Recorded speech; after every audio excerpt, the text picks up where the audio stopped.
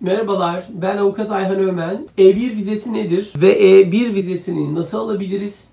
E2 vizesinden farkı nedir acaba diye bize bir takipçimizden gelen soru var. E1 vizesiyle E2 vizesinin arasındaki farkları hani basitçe anlatmak istersek E2 vizesinde kişi yatırım yapıyor. Dolayısıyla yatırımcının alabildiği bir vize türü oluyor.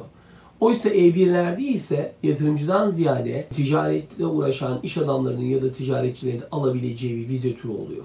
Dolayısıyla E1 vizesindeki olay kişi ülkesinden diyelim Amerika'ya ürün getirip satıyor, mal getirip satıyor ya da tam tersi Amerika'dan ülkesine mal götürüp getirebiliyor. Dolayısıyla bu iki ülke arasında yani Amerika ile kendi ülkesi arasındaki ticareti yapan kişiler E1 vizesine hak kazanıyorlar. E1 vizesini nasıl alabiliriz noktasına baktığınızda ise buradaki önemli olan nokta siz şirketinizi kurdunuz. Şirketinizin belli bir ana merkezi ya da ofis tutuldu.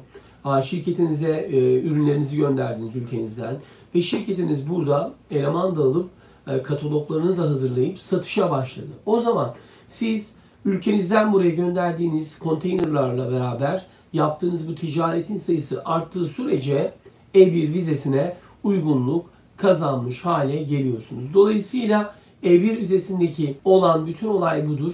Ticareti yapmak, ticareti aktif bir şekilde yapmak sizi E1 vizesi alma noktasında rahat bir şekilde onay almanızı sağlayacak durumlardandır. Dolayısıyla hani bu noktada e, baktığımızda eğer siz yatırım yapacaksanız E2 vizesiyle ilerliyorsunuz.